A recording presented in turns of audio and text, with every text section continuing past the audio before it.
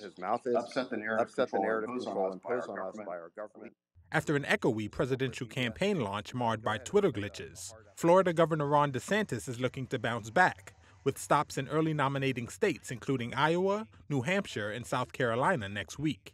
In his first series of public events since joining the 2024 race for the Republican nomination, DeSantis will make speeches and hold chats in a four day swing across 12 cities from May 30th to June 2nd.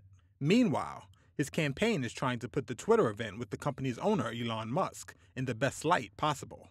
just a massive number of people online, so it's um, serves as restraining somewhat. The much typed forum featuring Musk and others were beset with audio and connection issues. Former Republican President Donald Trump was quick to pounce on the Twitter announcement, calling it a disaster. But DeSantis defended the event in a radio interview Thursday, saying the live stream had now drawn more than 5 million listeners and that it has succeeded in creating buzz around his candidacy. Ron DeSanctimonious and his poll numbers are dropping like a rock.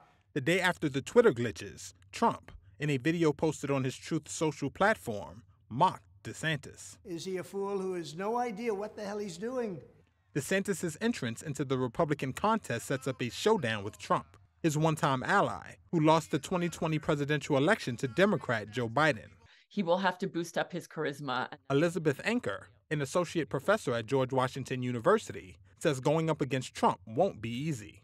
The challenge for him is that he is not a charismatic speaker. So I think that that is going to be, you know, a challenge for him to try to make himself seem that, you know, that people would want to hang out with him in the way that they imagine they want to hang out with Trump, while also uh, trying to be a more even keeled and uh, calm, uh, you know, somebody who can steer steer the ship in, in a more sedate way.